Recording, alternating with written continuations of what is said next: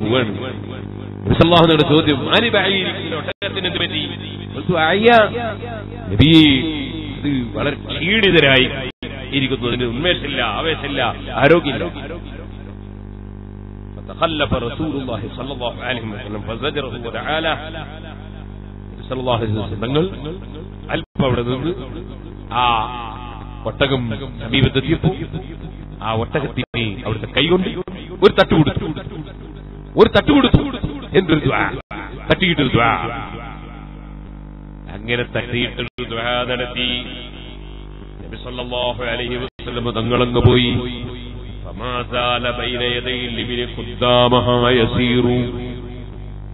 അങ്ങനെ സല്ലല്ലാഹു അലൈഹി തങ്ങൾ അങ്ങനെ പോകുന്നു. എന്റെ ഒട്ടകമോ ആ ഒട്ടകം വളരെ ആരോഗ്യമുള്ള ഒട്ടകമായി ഉന്മേഷത്തോടെ അതാ വളരെ വളരെ സ്പീഡിൽ ഒട്ടകം നടക്കുന്നു. അവിടുന്ന് എന്നോട് ചോദിച്ചു കൈഫത്തറാ ബഈറക് നിന്റെ ഒട്ടകത്തെ നീ ശേഷം എങ്ങനെ കണ്ടു ബജാബിറേ? ഞാൻ പറഞ്ഞു ബിഖൈനിൻ ഖദ് അസാബത്തുഹു ബറക്കതുക ഓ നബിയേ അവിടുത്തെ കൈകൊണ്ടതിനെ ഒന്ന് തൊട്ടപ്പോൾ അവിടുത്തെ പറക്കത്തി എന്റെ ഒട്ടകത്തിന് കിട്ടിപ്പോയി നബിയേ പറക്കത്തുണ്ട് നിഷേധിക്കണ്ട സഹീഹുൽ ബുഹാരിയിലെ ഹദീസാണ്. അങ്ങയുടെ പറക്കത്തി എന്റെ ഒട്ടകത്തിന് കിട്ടിപ്പോയി നബിയേ. അപ്പൊ അവിടുത്തെ ഒരു ചോദ്യം അപ്പത്തബി അപ്പത്തബി ഓ ജാബിറേ ആ ഒട്ടകത്തെ നീ എനിക്ക് വിൽക്കുമോ? ശ്രദ്ധിക്കണേ ആ ഒട്ടകത്തെ നീ എനിക്ക് വിൽക്കുമോ? എപ്പോഴാണ് ചോദിക്കുന്നത്?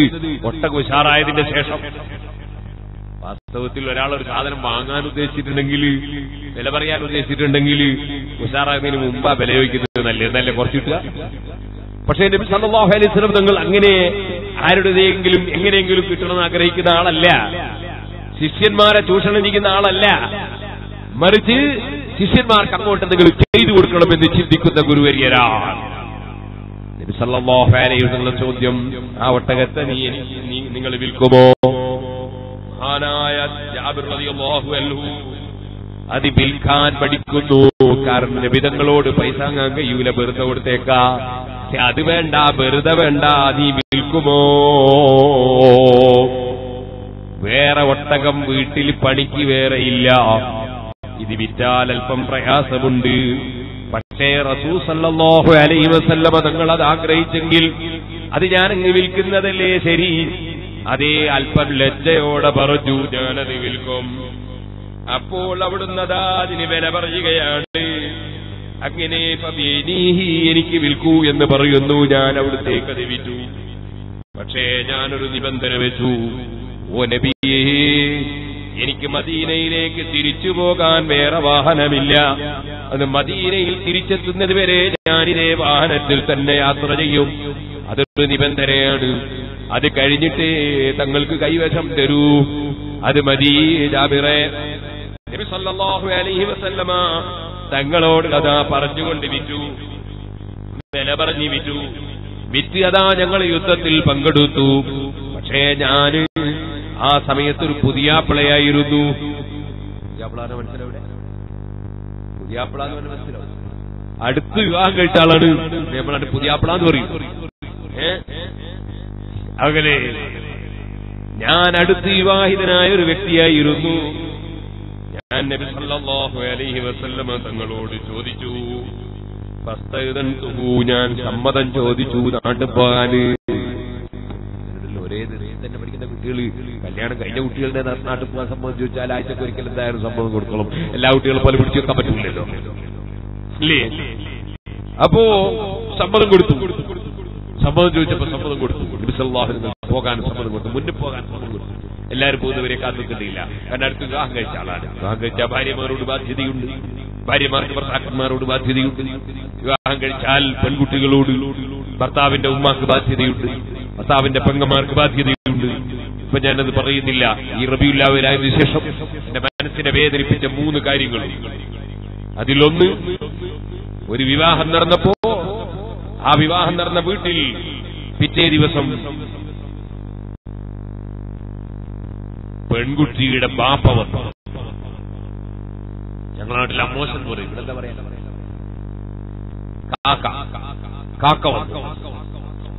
അങ്ങനെ അമ്മോശൻ കാക്ക വന്നു. അങ്ങനെ വന്നപ്പോൾ ഈ പെൺകുട്ടി കരയുകയാണ്. അദ്ദേഹം എന്നോട് പറഞ്ഞാണ് കരയുകയാണ്.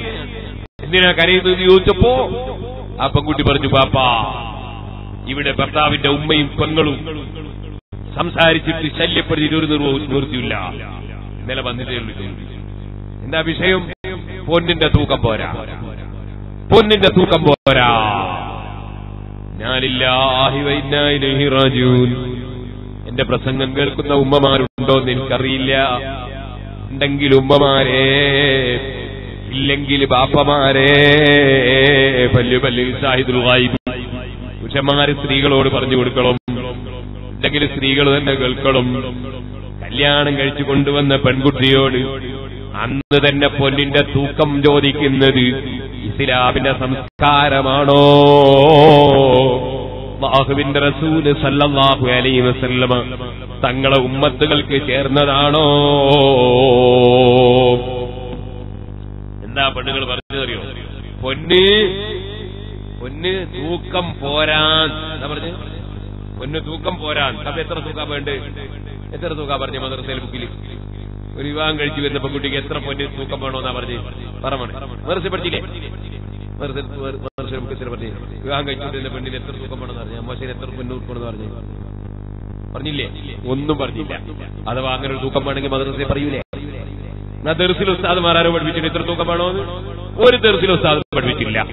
പിന്നെ ഇത് എവിടുന്ന് കിട്ടി ഇത്ര തൂക്കം വേണോന്ന് ചെയ്താൻ പറഞ്ഞു വിട്ട് വേറെ ഒരു ഉസ്താദും പഠിപ്പിച്ചില്ല. എന്താണ്? മല്ലം വെക്കുല്ലഹു ശൈഖുൻ ഫൈബ്ലീസു ശൈഖുഹു. മുഹീദ്ദീൻ ശിഖറുല്ലാഹ് പറഞ്ഞില്ലേ? ഉസ്താദ് ഇല്ലാത്തോടെ ഉസ്താദ് ബിലീസാണ് അല്ലേ? ഈ പൊന്നിന്റെ തൂക്കം നോക്കാൻ ഈ പെണ്ണിനോട് ആര് പറഞ്ഞു? കല്യാണം കഴിച്ചു വന്നു എന്നെ അഥവാ ഇനിയൊരു ഒരു പൊന്നിത്ര വേണമെന്ന് ആ പെണ്ണിന് ആഗ്രഹം ഉണ്ടെങ്കിൽ തന്നെ. അന്ന് തന്നെ ചോദിക്കണോ ഈ കയറി വന്ന പെൺകുട്ടിയോട്? ആ പെൺകുട്ടിക്ക് ഒരു സ്നേഹം കൊടുത്തൂടെ? ഒരു മനസ്സിന് സമാധാനം കൊടുത്തൂടെ? റഹ്മത്തുല്ലാലമീൻ സർവലോകത്തിനും അനുഗ്രഹമായി വന്ന മുഹമ്മദ് ഏ റസൂലുള്ളാന്റെ ഉമ്മത്തുകൾ കാണിക്കേണ്ട പെരുമാറ്റമാണോ ഇത്? ഒരു പുതിയ ഒരു സ്ത്രീ ഒരു പെൺകുട്ടി പാവപ്പെട്ട ഒരു പെൺകുട്ടി മനസ്സിന്റെ ബേജാറോടെ ബേജാറോടെ പേടിയോടെ ഒരു അന്യപുരുഷനുമായി ആദ്യമായി ബന്ധപ്പെടുന്നു. ഇന്നേ വരെ ബന്ധപ്പെട്ടിട്ടില്ലാത്ത ഒരു പുരുഷന്റെ കൂടെ ഒരു വീട്ടിലേക്ക് അതാ ഇന്നേ വരെ കണ്ടിട്ടില്ലാത്ത ഒരു നാട്ടുകാരുടെ കൂടെ കുടുംബങ്ങളുടെ കൂടെ ജീവിക്കാൻ വന്ന പെൺകുട്ടിയോട് അന്ന് തന്നെ പൊന്നിന്റെ തൂക്കം ചോദിക്കുന്നതിനേക്കാൾ വലിയ സംസ്കാര ശൂന്യത വേറെ ലോകത്ത് വേറെ എന്താ? പക്ഷേ നമ്മുടെ ആളുകളെ വിവരക്കേട്. സുബാനല്ല ആ പെൺകുട്ടി കരഞ്ഞുപോയി പിന്നെണ്ടായ സംഭവങ്ങളൊന്നും ഇപ്പൊ ഞാൻ പറയുന്നില്ല. സുഹൃത്തുക്കളെ ഞാൻ നിങ്ങളോട് പറയട്ടെ. മറ്റൊന്നെന്റെ മനസ്സിനെ വല്ലാതെ വേദനിപ്പിച്ച വിഷയം. അതാ കോഴിക്കോട് വെച്ച് കോഴിക്കോട് ജില്ലയിൽ വെച്ച് ഒരു പുരുഷൻ ഒരു പെണ്ണിനെ കുത്തിക്കൊന്നു കളഞ്ഞു ഭാര്യയെ കുത്തിക്കൊന്നു കളഞ്ഞു. രണ്ട് കുട്ടികളുള്ള ഭാര്യയെ കുത്തിക്കൊന്നു കളഞ്ഞു. എന്തിനാ കുത്തിക്കൊന്നത്? ആ പെണ്ണ് പ്രസവിച്ചത് രണ്ടും പെൺകുട്ടിയായി പോയതിന്റെ പേരിൽ വേറൊരു കുറ്റവും ചെയ്തിട്ടല്ല. നേരത്തെ തന്നെ അവൻ പറഞ്ഞിനു പോലും അടുത്തതും പെണ്ണാണെങ്കിൽ ഞാൻ കൊല്ലുമെന്ന് പറഞ്ഞിനു പോലും ഇന്നാലില്ല. നമ്മുടെ സമുദായത്തിന്റെ ഒരവസ്ഥാവിശേഷം വിശ്രമിക്കാൻ പറ്റുമോ പണ്ഡിതന്മാരെ? വിശ്രമിക്കാൻ പറ്റുമോ മുതലിവീങ്ങളെ ഈ ഉമ്മത്തിനെ കരകയറ്റേണ്ട ബാധ്യതയില്ലേ?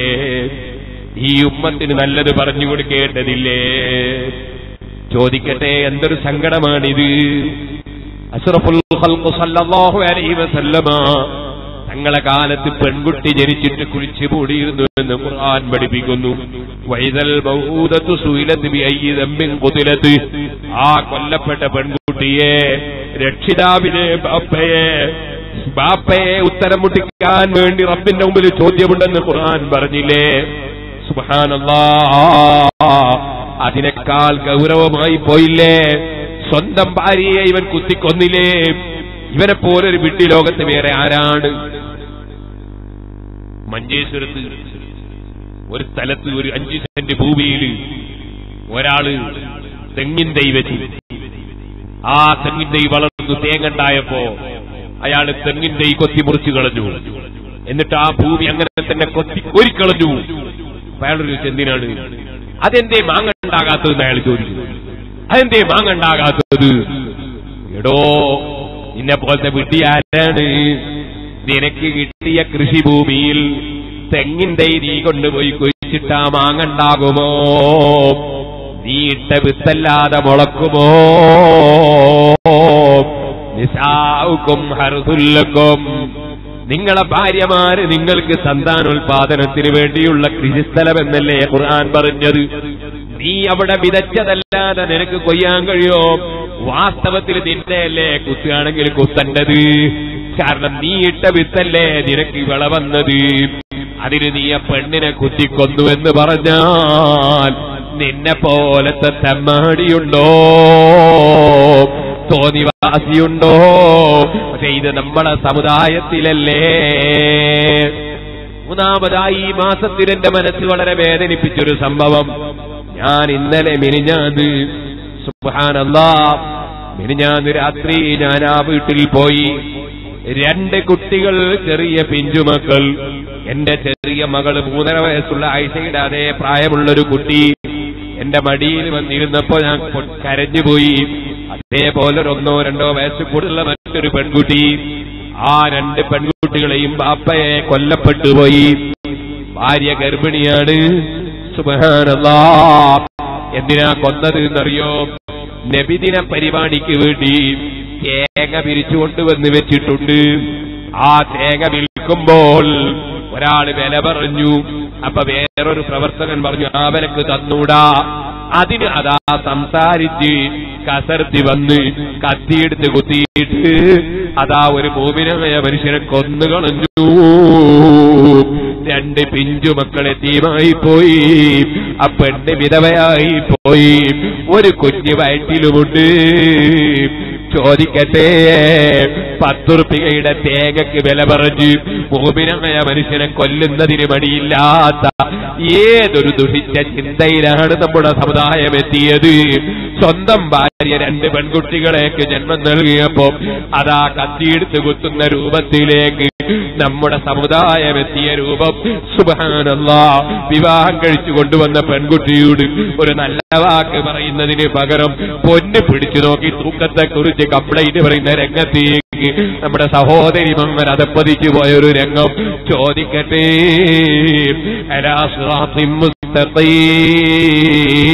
നേരെ ചൊവ്വയുള്ള വഴിയുടെ മേലെ നമ്മളെ നടത്താൻ വേണ്ടി വന്ന ഹബീബായ നബി സല്ലല്ലാഹു അലൈഹി വസല്ലമ തങ്ങളെ പ്രിയം വെക്കുന്ന ഓ മുഅ്മിനീങ്ങളെ.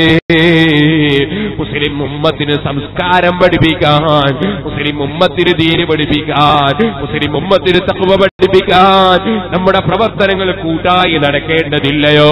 അതുകൊണ്ട് തന്നെ പറയട്ടെ ചില്ലറ ചില്ലറ വിഷയങ്ങൾക്ക് മുസ്ലിം നിങ്ങൾ ഭിന്നിക്കുന്നതിന് പകരം സുന്നത്ത് ജമാഅത്ത് മുറുകെ പിടിച്ച് ഹത്തിന്റെ മേൽ യോജിച്ച് പ്രവർത്തിക്കണം. ആലിബികൾക്ക് ശക്തി പകരണം സീതന്മാർക്ക് ശക്തി പകരണം. മൽഹർ പോലെ മുഹിമ്മത്ത് പോലെ സഅദിയ പോലെ മഖർ പോലെ അതേ മർക്കസ് പോലെ മൈദിന് പോലെ ബമ്പ പോലെ നമ്മുടെ സ്ഥാപനങ്ങൾ എവിടെയുണ്ടോ അവിടെ എല്ലാം അത് പരിപോഷിപ്പിക്കാൻ വേണ്ടി പരിശ്രമിക്കണം. എസ് ഒ എസിന്റെ പ്രവർത്തനങ്ങൾ സജീവമാക്കണം. എസ് എസ് എഫിന്റെ പ്രവർത്തനങ്ങൾ സജീവമാക്കണം. സുന്നത്ത് ജമാഅത്ത് മുറുകെ പിടിച്ച് അള്ളാഹുവിന്റെ ദീനിന്റെ പ്രചരണം നടക്കണം. പടത്തറപ്പിന്റെ ദീനിലേക്ക് ജനങ്ങളെ ക്ഷണിക്കുന്ന വേദികൾ ഉണ്ടാകണം കുറെ പാട്ടും കൂത്തും പോരാ. കുറെ കളിയും തമാശയും പോരാ. തെക്കുബയിലേക്ക് ക്ഷണിക്കുന്ന വേദികൾ വേണം. നമ്മുടെ നേതാവ് സാധാരണ നേതാവല്ല. ഹൈറുല്ലക്കും ഹൈറുല്ലക്കും എന്റെ ജീവിതം നിങ്ങൾക്ക് ഹൈറ് എന്റെ വഫാത്ത് നിങ്ങൾക്ക് ഹൈറ് അതേ അമാലുക്കും. നിങ്ങളെ മുഴുവൻ പ്രവർത്തനങ്ങളും എനിക്ക് കബറിൽ വെച്ച് കാണിക്കപ്പെടുമെന്ന് മുഹമ്മദ് ഈ ഉമ്മത്തിന്റെ അവസ്ഥകൾ ഇത് അവിടുത്തെ മുന്നിലേക്ക് വെളിവാക്കപ്പെടുമ്പോൾ സന്തോഷത്തിന്റെ വകുപ്പുകൾ കുറയുകയല്ലേ? അതുകൊണ്ട് അവിടുത്തെ കബറിൽ സന്തോഷം നൽകുന്ന പ്രവർത്തനങ്ങൾ നടത്താൻ ഈ ഉമ്മത്തിനെ സംസ്കരിക്കേണ്ട ബാധ്യതയുണ്ട്. പണ്ഡിതന്മാർക്കുണ്ട്. സയ്യിദന്മാർക്കുണ്ട് മുതല്ലിമീകൾക്കുണ്ട് അതിനെ ശക്തിപ്പെടുത്തേണ്ട അതിനെ സഹായിക്കേണ്ട ബാധ്യത പണക്കാർക്കുണ്ട് ഉപറാക്കൾക്കുണ്ട് ബിസിനസ്സുകാർക്കുണ്ട് തൊഴിലാളികൾക്കുണ്ട് മുതലാളിമാർക്കുണ്ട്. റബ്ബിന്റെ ദീനിവിടെ നിലനിൽക്കണം. രവിതങ്ങൾക്ക് സന്തോഷമുണ്ടാകുന്ന ഉമ്മത്തായി ഉമ്മത്തിനെ സംസ്കരിക്കാൻ കഴിയണം. സുഹൃത്തുക്കളെ കിട്ടുന്നില്ല ഇമാം ഹദീസ് ബാക്കി പറഞ്ഞുകൊണ്ട് നിർത്തട്ടെ. അഷറഫുൽ സല്ലല്ലാഹു അലൈഹി വസല്ലമ തങ്ങളുടെ പ്രവർത്തനം കണ്ടോ? നിൽക്കുമോ എന്ന് ചോദിക്കുന്നത് അതിന് ആരോഗ്യമുണ്ടായതിനു ശേഷമാണ്. ഒട്ടക സ്പീഡിൽ ഓടാൻ തുടങ്ങിയപ്പോഴാ ചോദിക്കുന്നത്. കാരണം ഒരു കാര്യലാഭവും അവിടുന്ന് ചിന്തിക്കുന്നില്ല. സ്വാർത്ഥ താല്പര്യങ്ങളില്ല വിലക്ക് വാങ്ങുന്നു. ജാബിർ റളിയല്ലാഹുവിന്റെ മദീനയിലോളം എത്താൻ വേണ്ടിയുള്ള അനുമതി വാങ്ങുന്നു. ശേഷം യുദ്ധം കഴിച്ച് എല്ലാവരും തിരിച്ചു പോകുന്നതിന് മുമ്പ് അടുത്ത് വിവാഹിതനായ വ്യക്തിയായതുകൊണ്ട് വീട്ടിൽ പോകാൻ സമ്മതം ചോദിക്കുന്നു. അപ്പൊ വിവാഹം കഴിച്ച വിവരം പറയുന്നു ചോദിച്ചു ജാബിറെ നിങ്ങൾ വിവാഹം കഴിച്ചത് ചെറിയ പെൺകുട്ടിയാണോ? അഥവാ കന്യകത്വം നീങ്ങാത്ത വിവാഹമൊന്നും നടക്കാത്ത കന്യകത്വം നീങ്ങാത്ത പെൺകുട്ടിയാണോ? അല്ലെ കന്യകത്വം നീങ്ങിയ മുമ്പൊരിക്കൽ വിവാഹം കഴിച്ചവരോ മറ്റോ ആണോ? ഇവിടുന്ന് പറഞ്ഞു ഞാൻ കന്യകത്വം നീങ്ങിയ ഒരു സ്ത്രീയാണ് വിവാഹം അതെ ജാബിറെ? നിനക്കൊരു പെൺകുട്ടിയെ ബിക്കറു കന്യകത്വം നീങ്ങാത്ത പെൺകുട്ടി വിവാഹം കഴിച്ചുണ്ടായിരുന്നു സന്തോഷം പങ്കിടാൻ. അപ്പോൾ മറുപടി നബിയെ ബാപ്പ നീരത്തിൽ യുദ്ധത്തിൽ മരണപ്പെട്ടു പോയി ബാപ്പയ്ക്ക് ചെറിയ പെൺകുട്ടികളുണ്ട്. ആ പെൺകുട്ടികളെ സംരക്ഷിക്കുകയും അവരെ അതവ് പഠിപ്പിക്കുകയും ആ പെൺകുട്ടികളെ നോക്കുകയും വേണ്ടത് ചെയ്തു കൊടുക്കുകയും ചെയ്യാൻ എനിക്ക് വീട്ടിൽ ഒരൽപ്പം പ്രായമുള്ള പക്വതയുള്ള ഒരു സ്ത്രീയായിരിക്കണം. ഞാൻ എന്റെ സുഖം മാത്രം ചിന്തിച്ചാൽ പോരാ. എന്റെ സൗകര്യം ചിന്തിച്ചാൽ പോരാ. ഞാൻ അങ്ങനെയുള്ള ഒരു പെൺകുട്ടിയെ ഞാനൊരു ചെറിയ പെൺകുട്ടിയെ വിവാഹം കഴിച്ചാൽ ഒരു പക്ഷേ എനിക്ക് എന്റെ ജീവിതത്തിൽ സന്തോഷം പങ്കിടുമ്പോൾ ഒരൽപ്പം കൂടുതൽ സന്തോഷം കിട്ടിയേക്കാം. പക്ഷേ എന്റെ പെങ്ങന്മാരാര് ശ്രദ്ധിക്കും. എന്റെ പെങ്ങന്മാരെ കാര്യം ആര് നോക്കൂ?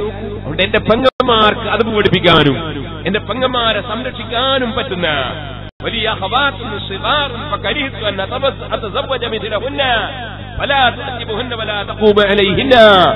നബിയെ എന്റെ പെങ്ങന്മാരെ സംരക്ഷണവും എന്റെ പെങ്ങന്മാരെ ശ്രദ്ധിക്കലും മതം പിടിപ്പിക്കലും ഉദ്ദേശിച്ചുകൊണ്ട് ഞാൻ ഒരല്പം പ്രായമുള്ള പെണ്ണിനെയാണ് എന്തൊരു നല്ല ശിഷ്യൻ.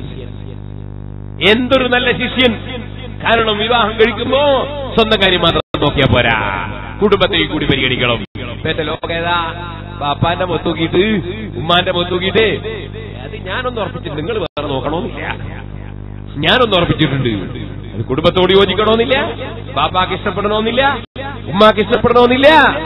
മറിച്ച് ഞാൻ ഉറപ്പിച്ചിട്ടുണ്ട് എന്ന് പറയാൻ മടി തോന്നാത്ത ലോകമല്ലേ മക്കൾക്ക്? ഓ സഹോദരന്മാരെ മരിച്ചുപോയ ബാപ്പയുടെ പൊരുത്തൽ ലഭിക്കണം.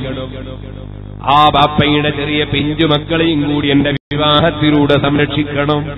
ജാബിറുദികളോനിന്റെ വിശാലമായ ചിന്ത അലൈഹി അംഗീകാരം കൊടുക്കുന്നു. ഇരിക്കട്ടെ മദീനയിലേക്ക് മഹാനവരുകൾ എത്തിച്ചേരുന്നു. വന്നപ്പോൾ അമ്മാമൻ തന്നോട് വിവരങ്ങൾ അതാ ഒട്ടകത്തെ വിറ്റ സംഭവം പറയുന്നു. അമ്മാമൻ ചോദിക്കുന്നു വേറെ ഒട്ടകമില്ലല്ലോ. നീ എന്തിന് വിറ്റു ജാബിറേ? തങ്ങൾക്കല്ലേ വിറ്റത്? സന്തോഷം തന്നെ. ആ ഒട്ടകം വിറ്റ ഒട്ടകവുമായി നബിസല്ലാഹു അലൈഹി വസല്ലം മദീനയിലെത്തിയപ്പോ ചെന്നിട്ട് ഒട്ടകം ഏൽപ്പിച്ചു കൊടുത്തു. നബിസല്ലാഹു അലൈഹി വസല്ലമ ഒട്ടകത്തിന്റെ വില ഇങ്ങോട്ടും കൊടുത്തു. രണ്ടും കൈമാറ്റം നടന്നു. ജാബിറിയോഹന് തിരിച്ചു പോവുകയാണ്. തിരിച്ചു പോകുമ്പോഴതാ ഒരാൾ വന്ന് വിളിക്കുന്നു. ജാബിറേ റസൂൽ തിരിച്ചു വിളിക്കുന്നു. സമീപത്തേക്ക് ചെല്ലുന്നു. ജാബിർ റളിയല്ലാഹുവിന് കൊടുത്ത തുക മുഴുവനും ജാബിർ റളിയല്ലാഹുവിന് തിരിച്ചങ്ങോട്ട് തന്നെ കൊടുക്കുന്നു. ജാബിർ റളിയല്ലാഹു എന്നു ജാബിർ റളിയല്ലാഹുവിന് ഇങ്ങോട്ട് കൊടുത്ത ഒട്ടകത്തെ വില കൊടുത്തത് നബി സല്ലല്ലാഹു അലൈഹി തങ്ങളാണല്ലോ. ആ വില ജാബിർ റളിയല്ലാഹുവിന്റെ കയ്യിൽ തന്നെ ഉണ്ട്. അതിൽ നിന്ന് ഒരു നേഹക്കാശ് പോലും ബാഹുവിന്റെ റസൂൽ തിരിച്ചു ചോദിക്കാതെ ഒരു നേഹക്കാശ് പോലും തിരിച്ചു ചോദിക്കാതെ കൊടുത്ത വിലയുമായി പോകുന്ന ജാബിറതി എന്നെ വിളിച്ചിട്ട് പറയുന്നു ജാബിറേ നിങ്ങളെ ഒട്ടകത്തെ നിങ്ങൾ തന്നെ തിരിച്ചങ്ങ് കൂട്ടിക്കോ. വിലയും നിങ്ങൾ തന്നെ എടുത്തോ. ഒട്ടകവും നിങ്ങൾക്കാണ് വിലയും നിങ്ങൾക്കാണ്. രണ്ടും ജാബിറതി അള്ളാഹു എന്നിവര് കൊടുക്കുകയാണ് സുഹാനന്ദക്കാന അജുവതന്നാസ് ലോകം കണ്ടതിൽ വെച്ച് ഏറ്റവും വലിയ ഔദാര്യമുള്ള നേതാവാണ് മഹാനായ മുഹമ്മദുർ റസൂലുള്ളാഹി. അലൈഹി വസല്ലം. തൊട്ടാൽ ബർക്കത്താണ്. അവിടുന്ന് തൊട്ടാൽ ബർക്കത്താണ്. സദസ്സിൽ പങ്കെടുത്താൽ ബർക്കത്താണ്. അതാണ് റളിയല്ലാഹു അൻഹു റിപ്പോർട്ട് വേറൊരു ഹരീത് ഇപ്പോൾ നീട്ടുന്നില്ല സുഹൃത്തുക്കളെ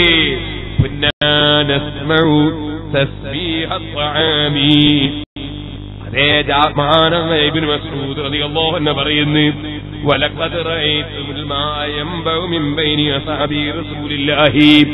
റസൂലുള്ളാഹി സല്ലല്ലാഹു അലൈഹി വസല്ലം. നിങ്ങളുടെ കയ്യിന്റെ വിരലിലൂടെ വെള്ളം ഇങ്ങനെ ഉറവ് ഞാൻ കണ്ടിട്ടുണ്ട്. ആ വെള്ളം കുടിക്കാനും ഒതുവെടുക്കാനും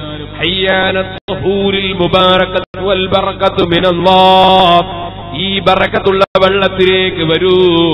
ഇത് തഹൂറായ വെള്ളമാണ്. സാഹിർ മാത്രമല്ല.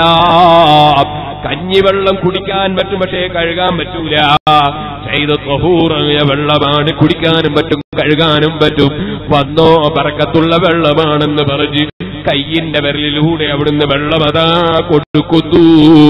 ഞാനത് കണ്ടതാണെന്ന് പറഞ്ഞുകൊണ്ട് ഇബിന് മസ്ഊദ് റളിയല്ലാഹു പറയുന്നു കുന്നാ നസ്മഉ കുന്നാ നസ്മഉ തസ്ബീഹ الطعام وهو يؤكل അല്ലാഹുവിന്റെ റസൂലിന്റെ മജ്ലിസിന്റെ ബർക്കത്ത് ആ മജ്ലിസിൽ ഞങ്ങൾ പങ്കെടുക്കുമ്പോൾ കഴിക്കുന്ന ഭക്ഷണത്തിന്റെ തസ്ബീഹ് ഞങ്ങൾ കേൾക്കാറുണ്ട് അല്ലാഹുവിന്റെ റസൂല് സല്ലല്ലാഹു അലൈഹി വസല്ലമ തങ്ങളുടെ കേൾവി അസാധാരണമാണെന്ന് മാത്രമല്ല അവിടുത്തെ മജിലിസിൽ പങ്കെടുത്ത് വായു ശ്വസിച്ചവരുടെ കേൾവി അസാധാരണ കേൾവിയായില്ലേ ഭക്ഷണത്തിന്റെ തസ്ബീഹ് അവിടുന്ന് അവർ കേട്ടില്ലേ?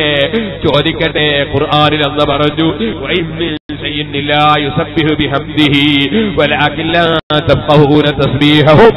എല്ലാ സൃഷ്ടികളും തസ്ബീഹ് കൊണ്ടുവരുന്നുണ്ട്. അത് നിങ്ങളറിയുന്നില്ലെന്നേ ഉള്ളൂ. എന്നാൽ അള്ളാഹുവിന്റെ റസൂൽ സല്ലല്ലാഹു അലൈഹി വസല്ലമ തങ്ങളുടെ ബറക്കത്താക്കപ്പെട്ട മജിരിസിൽ പങ്കെടുത്തപ്പോൾ അവിടുന്ന് അതാ ഞങ്ങൾ പറയുന്നു ആ ഭക്ഷണത്തിന്റെ തസ്ബീഹ് സഹാബത്താകുന്ന ഞങ്ങളെ കാതിലും കേൾക്കുന്നു.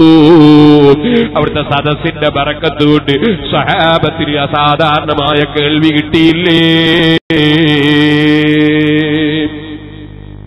എങ്കിൽ പിന്നെ ആ നബി സല്ലല്ലാഹു അലൈഹി കേൾവിയും കാഴ്ചയും അറിവും കഴിവും മഹത്വവും ആർക്കാണ് പറഞ്ഞു തീർക്കാൻ കഴിയുക?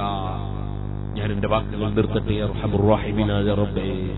സാധുക്കളായ ഞങ്ങളെ ഞങ്ങളുടെ മരണം വരെ അവിടുത്തെ മതം പറയുന്നവരിൽ ഉൾപ്പെടുത്തണം റഹ്മാനെ. അവിടുത്തെ സ്നേഹിച്ച് ജീവിച്ച് മരിക്കുന്നവരിൽ ഉൾപ്പെടുത്തണം റഹ്മാനെ. ഞങ്ങളുടെ വാക്കുകളും പ്രവൃത്തികളും നീ പൊരുത്തപ്പെട്ടതാക്കണം റഹ്മാനെ. മഹാനായ കമറുൽ മയബിസ്താദബറുകൾ ഫെബ്രുവരി ഇരുപത്തിയേഴ് ബുധൻ മധുഹറിൽ ഇവിടെ പ്രസംഗിക്കുന്ന വിവരം എല്ലാവരെയും അറിയിക്കുന്നു എല്ലാവരും ആ വർക്കത്തുള്ള സദസ്സിൽ പങ്കെടുക്കണമെന്ന് ഓർമ്മപ്പെടുത്തുന്നു. ഞാൻ എന്റെ വാക്കുകൾ നിർത്തുന്നു അള്ളാഹുവേ ഞങ്ങളുടെ മജിലിസ് നീ ദുആക്കുത്തരമുള്ള മജിലിസ് ആക്കണം റഹ്മാനെ. ഈ സ്ഥാപനം നീ ദുആക്ക് ഇജാബത്തുള്ള സ്ഥാപനമാക്കണം റഹ്മാനെ. ഞാനിവിടെ വന്നപ്പോൾ ഒരുപാട് ആളുകൾ എന്റെ കയ്യിൽ സിറാജുൽ ഹുദയിലേക്ക് നേർച്ചകളും സദസ്സുകളും തന്നവരുണ്ട് പള്ളിയിൽ നിസ്കരിക്കാൻ പോയപ്പോൾ അവിടെ വെച്ച് നേരത്തെ ഞാൻ ഇവിടെ ഹനഫി ജമാഅത്തിന്റെ പരിപാടിയിൽ വന്നപ്പോൾ ഏറ്റ സംഖ്യകൾ തന്നവരുണ്ട് അതുപോലെ ഇവിടെ വന്നപ്പോൾ പലരും നേർച്ചകളും സ്ഥാപനങ്ങളും തന്നവരുണ്ട്. ഉച്ചയ്ക്ക് പോയപ്പോൾ അവിടുന്നും തന്നവരുണ്ട്. അള്ളാഹുവെ ഞങ്ങളെ പ്രവർത്തനങ്ങളെല്ലാം നീ കബൂൽ ചെയ്യണം റഹ്മാനെ. സിറാജുൽ ഹുദയ എന്ന മഹത്തായ സ്ഥാപനം ഒരു അൻപത് കൊല്ലത്തോളം റബിയുല്ലവൽ മാസത്തിൽ തങ്ങൾ ജനിച്ച വിവരം പോലും കുറ്റ്യാടിയിലും പരിസരങ്ങളിലും പതിനൊന്ന് സ്ഥലത്ത് ആരും അറിയാറുണ്ടായിരുന്നില്ല എന്ന് വേണം പറയാൻ. ഒരു മൗലിദും നടന്നിരുന്നില്ല ഒരു നബിദിന പരിപാടിയും നടന്നിരുന്നില്ല ഒരു ദിക്റിന്റെ മജിലിസും നടന്നിരുന്നില്ല.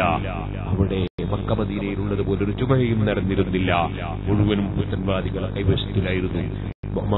ബഹുമാന്യരായ വലിയ വലിയ സയ്യിദന്മാരും ഔലിയാക്കളും ജീവിച്ചൊരു ഉപദേശമാണ് കുറ്റിയാടി. വലിയ സഹിതന്മാരുടെ വലിയ ചാറങ്ങൾ ഉണ്ടായിരുന്നു അവിടെ. അതൊക്കെ അടിച്ച് പൊട്ടിച്ച് തകർത്തു കളഞ്ഞതാണ് സുഹൃത്തിന്റെ വിരോധികൾ. അവിടെ ആരംഭിച്ച സിറാജുൽ എന്ന സ്ഥാപനം അലഹമില്ല അതിന്റെ കീഴിൽ പ്രവർത്തനം തുടങ്ങിയപ്പോൾ അള്ളാഹു വലിയ ബർക്കത്ത് തന്നിട്ടുണ്ട്. ഒമ്പതിനായിരത്തോളം കുട്ടികൾ വിവിധ സ്ഥാപനങ്ങളിലായി അവിടെ അതിന്റെ കീഴിൽ പഠിക്കുന്നുണ്ട്.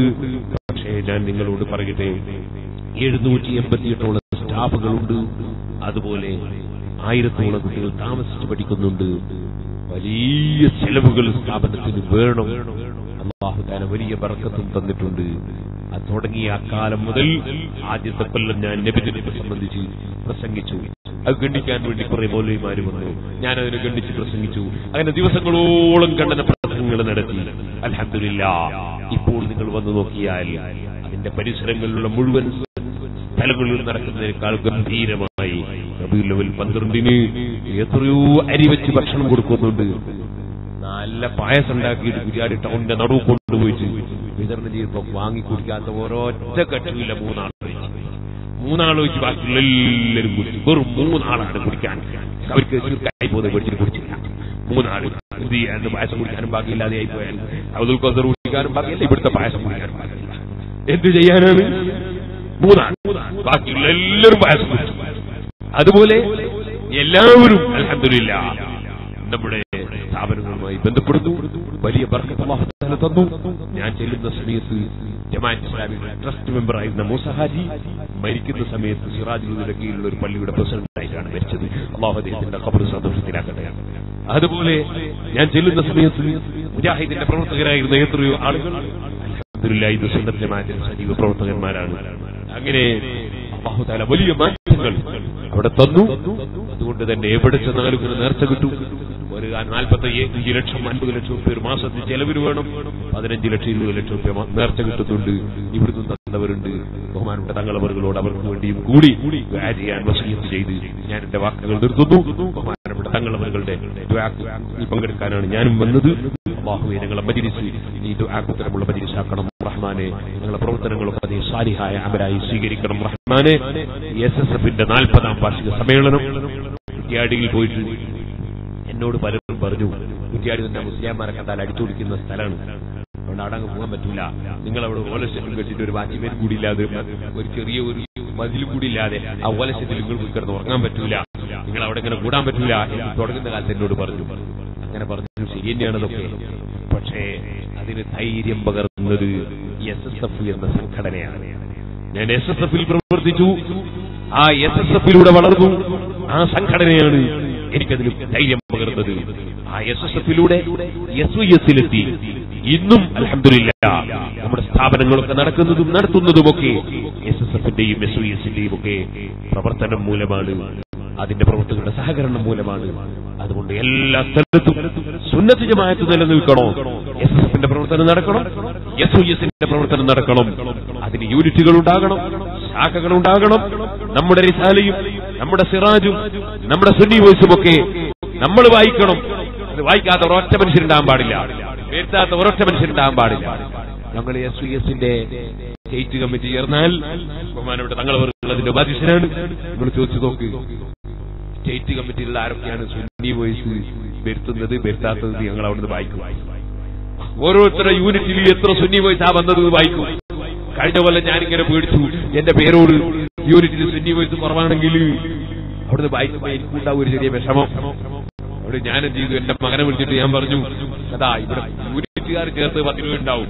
അതൊന്ന് പോലെ കുറെ കൂടുതൽ ചേർക്കണം. നിന്റെ വകയിൽ നീ ഇറങ്ങിയിട്ട് കുറെ ചേർക്കണോ തന്നെ ദിവസം എന്റെ മകനെ പറഞ്ഞു അവനോട് വലിയ നീ ഒന്നും പറയണ്ട. നീ എനിക്ക് പരിചയമുള്ള കുടുംബക്കാരും രോഗിക്കാരൊക്കെ ഉണ്ടാവില്ലേ? ബന്ധപ്പെട്ട ആളുകൾ അവരോടൊക്കെ പറ്റി പറയും ഇരുന്നൂറ് റുപ്യാണോ എന്നറിയാം പൈസ ഒരുങ്ങി തരും. പൈസ ഒരുങ്ങി തരും ഇതായിരുന്നാലും കുടുംബപരമായിട്ടും മറ്റുണ്ടാവും